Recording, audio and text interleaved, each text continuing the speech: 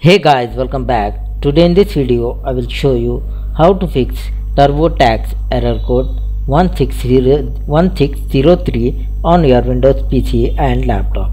So for this guys, first method, you disable your antivirus and try. And the second method, go to start and open, open your Windows settings.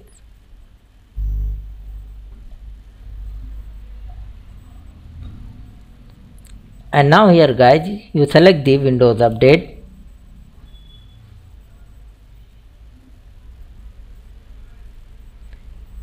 In the top right side you can see here guys check for update. Just click on it and check here guys update.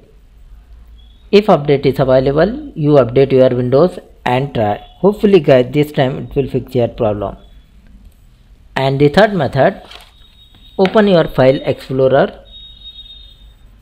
window hold the window key and press the windows plus e select the this pc right click on c drive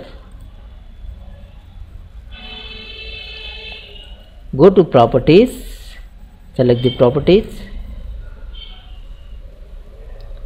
now here select the disk cleanup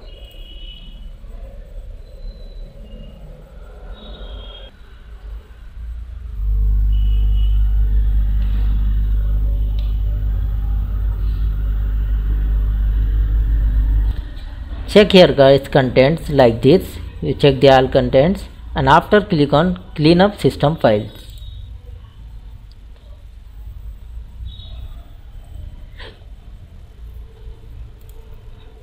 And you need to wait here.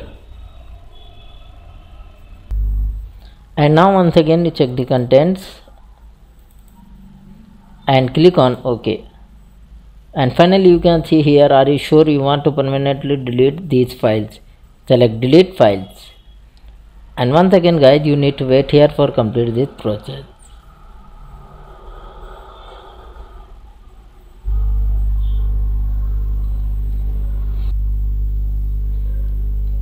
After this guys you restart your computer and try hopefully at this time it will fix your problem so thanks for watching this video. Please like share and subscribe